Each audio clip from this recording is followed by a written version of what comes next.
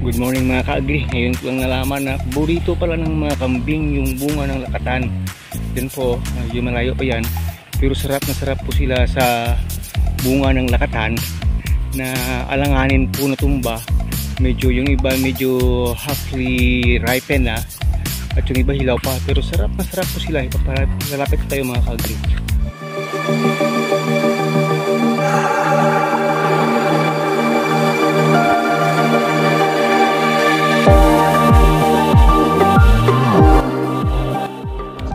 Huwag tayong maingay kasi tatakbo sila eh. Yan po, yan po. Yan po, na sarap po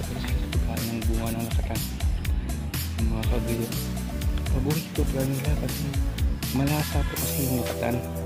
Matamis po kasi yan kahit na medyo kulang sa edad. Basta nahinog na eh, sarap na sarap talaga sila eh. Kanina po sila dinabantayan pag pumunta ako eh tumatakbo sila. Pero pag kalapitan ko eh yan pag aalis ako binabalik-balikan talaga mga ugly kaya sabi ko kukunan ko talaga sila ng video kasi sarap na sarap po sila sa bunga ng lakatan yan so yan o nag-aagawan sila kanina pa yan. Yan po? Yummy yummy daw nila oh, tingnan yung mother yung mother goat nako Ilaw pa nga yan, pero medyo matamis niyan sa loob. Kaya talagang hinahunting nila yung uh, bunga ng nakatan sa loob mga kaagri. Ayan po. Yan po yung mga goaties na yan. Ayan, sarap na sarap po sila. Ah, yun pala. Kahit pala yung mga sobrang mga bunga ng nakatan na yan, hindi naman pa pwede ka mapakinabangan eh pwedeng pwede pala i-feeding yan sa mga goats alam po natin mga goaties eh kahit ano kahit nga Jimelina kinakain yan eh. Kahit nga minsan yung mga tela kinakain. Prutas pa kaya na uh, manamis-tamis. Kaya yan no? Yung isang natira ayaw umalis eh.